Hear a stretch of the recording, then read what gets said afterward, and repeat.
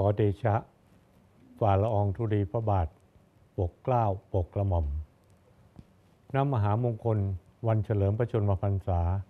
สมเด็จพระนางเจ้าสิริกิติ์พระบรมราชินีนาถข้าพระพุทธเจ้านายอดุลจันทรศักดิ์รองอธิบดีศาลปกครองพิษณุโลก พร้อมทั้งคณะตุลาการศาลปกครองพิษณุโลก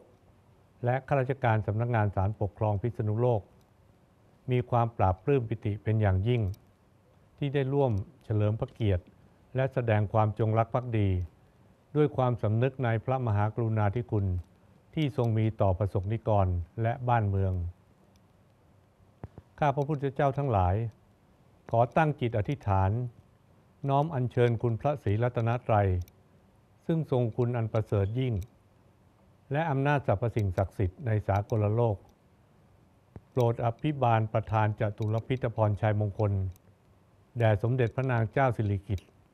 พระบรมราชินีนาถให้ทรงพระเกษมสำราญ ปราศจากทุกข์และภัยพานพิบัติ จำเริญทีฆชนดลสิริสวัสดิ์ภูนเพิ่มพิพัฒน์บารมี พระเกียรติคุณเกลือไกลในปัตภีเป็นมิ่งขวัญล่มเกล้าเหล่าประสงนิกร ชั่วฟ้าและทาตรี ตราบนิรันดร์การ เทินด้วยกล้าวด้วยกระหม่อมขอเดชะ